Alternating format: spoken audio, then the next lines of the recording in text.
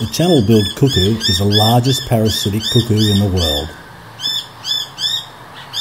Each year between August and October, this prehistoric looking bird migrates to northern and eastern Australia from New Guinea and Indonesia in search of a host nest to lay its eggs.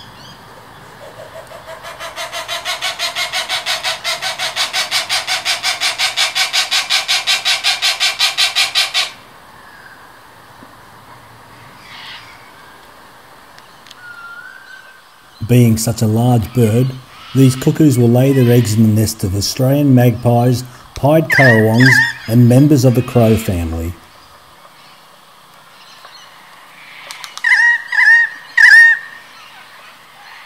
Unlike many of the other cuckoos, the young birds do not evict the host young or their eggs from the nest, but simply grow faster and demand all the food, thus starving the others.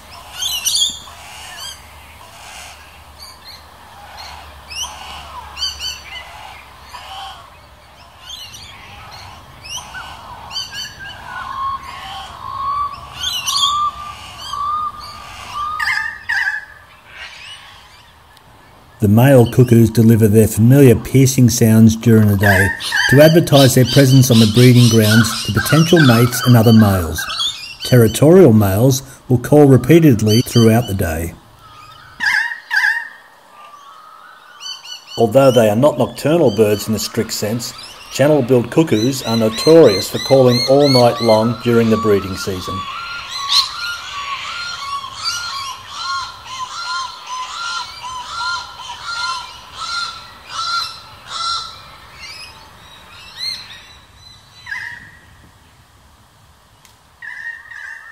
Channel-billed cuckoos are a large bird, growing up to 67 centimetres in length with a wingspan of around 1 metre.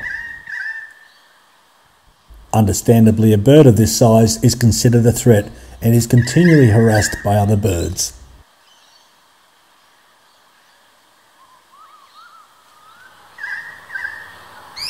In northern Australia, their migration coincides with the beginning of the rainy or wet season, leading to this species being given a colloquial name such as stormbird, floodbird, or rainbird.